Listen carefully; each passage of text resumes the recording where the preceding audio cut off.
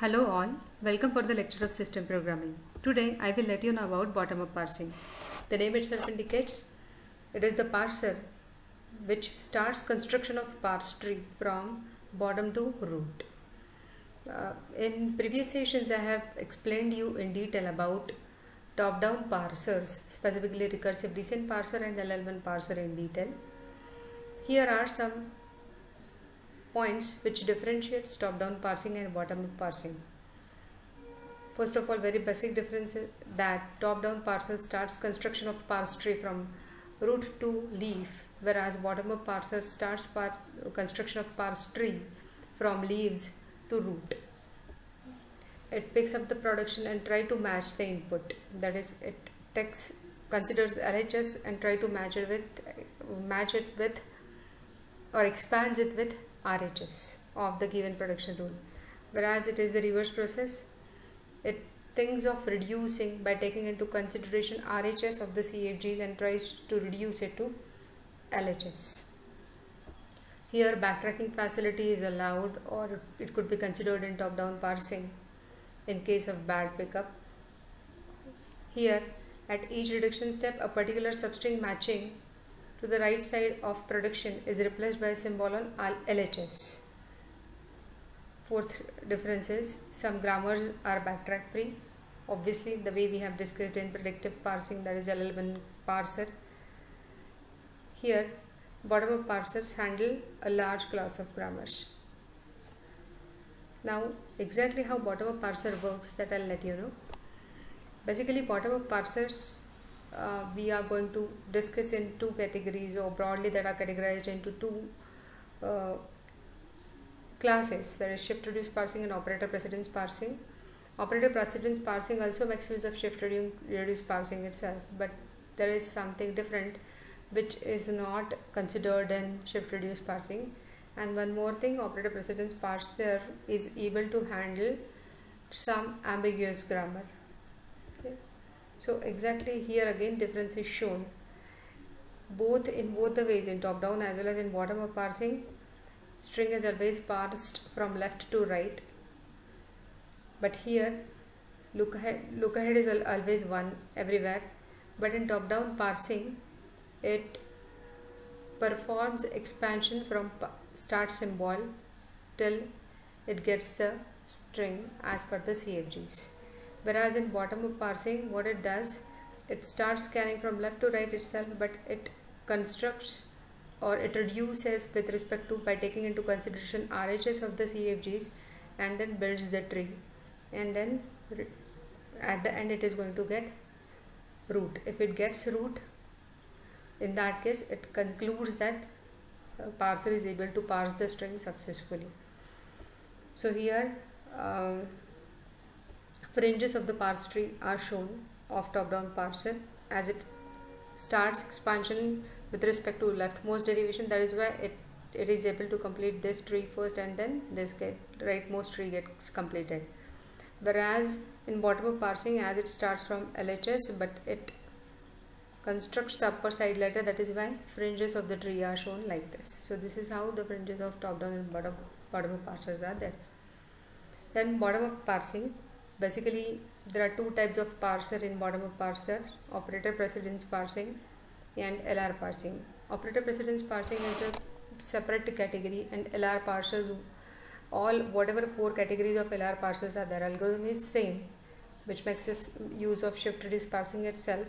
But reference table differs in all four. Whereas in operator precedence parsing it constructs operator precedence relation and based on that using shift reduce principle itself it completes the parsing. So here one example of bottom up parsing is shown.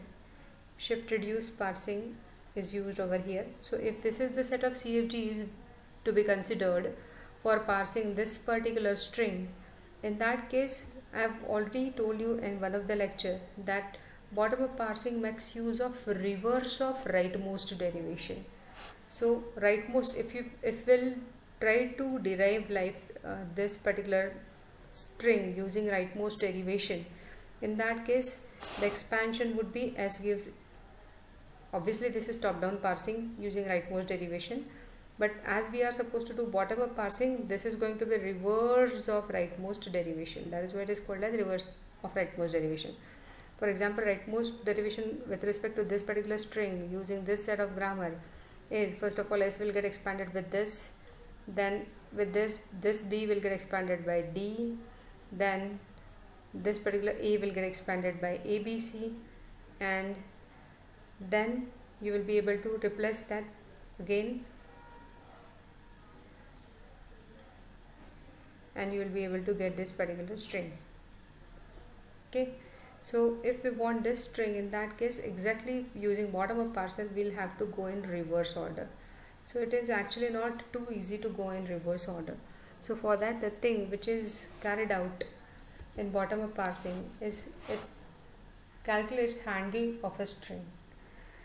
Handle of a string is substring that matches the RHS of some production and whose reduction to the non-terminal of the LHS is a step along the reverse of some rightmost derivation.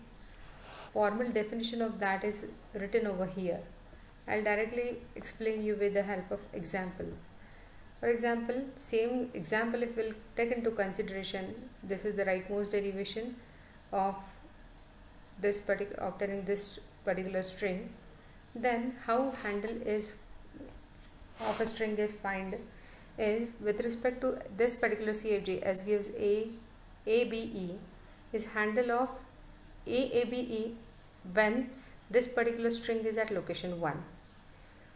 B then with respect to this particular position in the right rightmost derivation as D is at third location B gives D would be possible I mean D reduction of D into B would be possible only in case if B uh, sorry if D is located at location 3 similarly in case of A gives ABC the handle ABC this string could be reduced to capital A only when this particular complete string is present in location 2 and similarly for A gives B it is B is handle of this particular string only in location 2 so that is what is how uh, handles are calculated.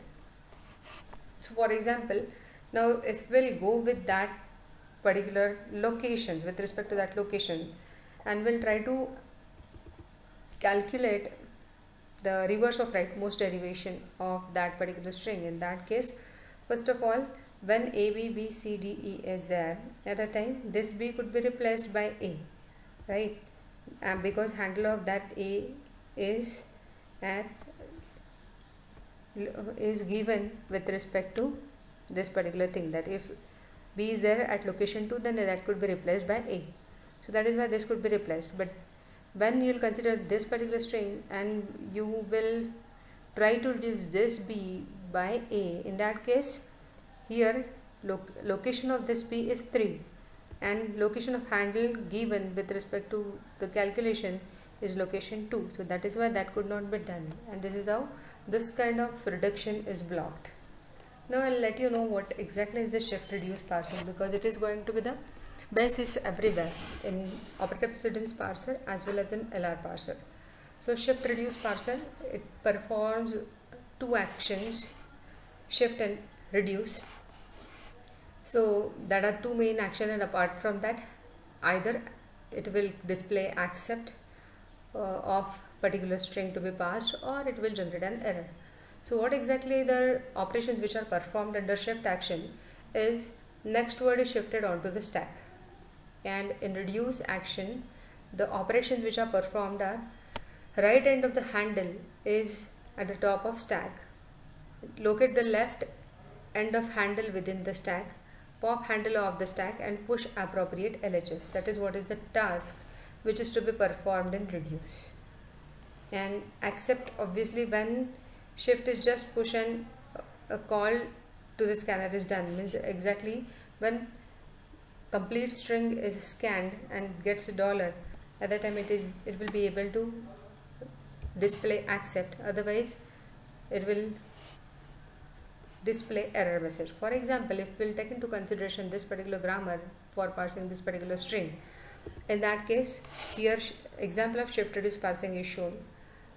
Here as well dollar is considered on the top oh sorry uh, on the in the bottom of stack always. That is dollar will get first of all inserted when once stack is created. Then it will take into consideration this input string.